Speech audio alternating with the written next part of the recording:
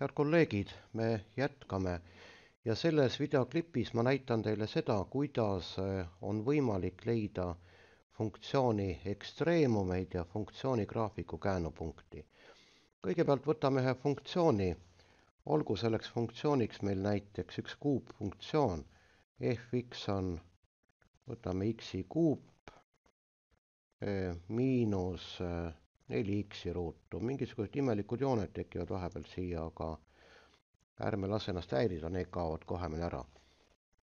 nüüd panime, tegime sellise funktsiooni, näete, graafik on olemas, aga ma ilmselt moonutan seda, näete, ma tõmban natukene siit ülespoole, et paremini oleks lihtsalt näha. ja noh, täpselt koolitunnis samamoodi, et ega meil pea üks-ühele see graafik olema teen selle joone natuke ka jämedamaks. ja kui me tahame nüüd selle funktsiooni ekstreemumeid kätte saada, siis on olemas väga hea korraldus siin GeoGebral ja kirjutamegi käsurea peale nii, ekstreemum. ekstreemum ja paneme kohe siia sulgudesse fx. nii, näete, me ei peagi hakkama kirjutama, et x-i kuup miinus neli x-i ruut või midagi sellist. ekstreemum fx-ist ja vajutame enterit ja näete, meil tekib ilusasti kaks punkti. teeme need punktid natuke suuremaks, paistavad paremini välja. noh, võime teha ka teist värvi, kui soovime. vahet, suurt vahet siin ei ole. ja ongi, näete, maksimumpunkt ja miinimumpunkt täiesti olemas. Need ekstreemumpunktid nüüd, kui võtaks mõne neljanda astme funktsiooni, et noh, et kus tekib kaks miinimumpunkti või kaks maksimumpunkti, siis sõltuvalt A asendist või sellest äh, väärtusest, siis äh, funktsiooni nime muutmine käib ju siin iseenesest väga lihtsalt, näete, ma panen siia kuubi asemele aste, astme neli. ja ongi mul asi korras, ega mul midagi siin rohkem teha ei ole. ja graafik on hoopis uus ja näete, nüüd on mul kolm ekstreemumpunkti, üks, üks on pisike eh, alam, alamõõduline ekstreemumpunkt, aga lihtsalt sellepärast, et, et kuna see suurus talle nagu polnud pandud, nii näete. ja nüüd võin ta tuua siis ilusasti teha siin suuremaks. ja ongi ekstreemumpunktid kenasti olemas niimoodi ja loomulikult siit saab siis kirjeldada kõiki kasvamise, kahanemise, mida iganes soovite, nii et aga meil oli juttu ka sellest, eks ole, et vaatame ära siis, kuidas näevad välja siis või kus paiknevad käänupunktid. siis käänupunkti leidmiseks on ka oma korraldus, nii et ei pea midagi, näete, käänupunkt.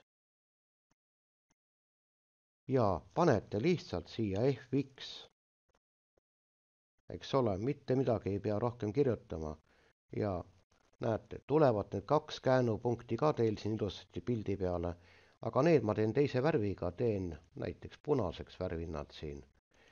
nii, ja no oleks võinud ka suuremaks teha, aga paistavad välja küll.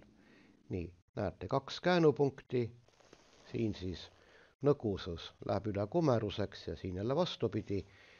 nii et päris hea selline visualiseerimise vahend siis siin funktsiooni uurimise korral. loomulikult võib küsida, aga et mis saab siis, kui neid eh, ekstreemumpunkte on jube palju, no näiteks võtame siinusfunktsiooni jah, et mis siis saab. ma teen teile kohe sellise pildi ka siia, et eh, peidan kõik need asjad siit ära. ma võiks teha uue, uue teljestiku, aga praegu hetkel peitsin lihtsalt ära siia ja panen nüüd gx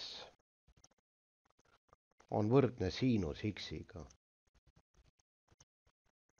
näete, nüüd loomulikult, kuna mul on nüüd see graafik on moonutatud, siis eh, on see siinuse graafik ka praegu päris kõvasti moonutatud, aga noh, näete, teeme niimoodi, et meil siin ikka paari perioodi ulatuses see graafik paistaks. Ja paneme nüüd siis siia, näete, ekstreemum, jah ja paneme siis siia, kuna me tegime gx-i, siis paneme gx. nii.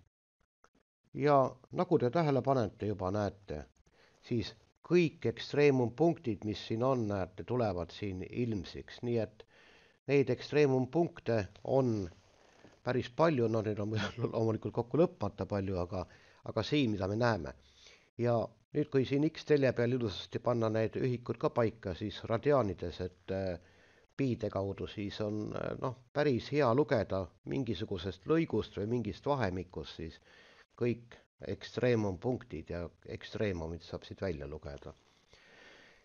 nii et äh, näete, kaks sellist head asja, ekstreemumid ja käänupunktid on GeoGebra abil hästi hõlpsasti leitavad, nii et head katsetamist teile ja proovige ise siin mõningate funktsioonidega see asi läbi teha ja mõelge, kas te kasutaks seda vahendit oma tunnis mingi teema juures nii, aga me juba pärast hiljem jätkame siis hoopis teid teiste teemadega, nii et selleks korraks kõik minu poolt.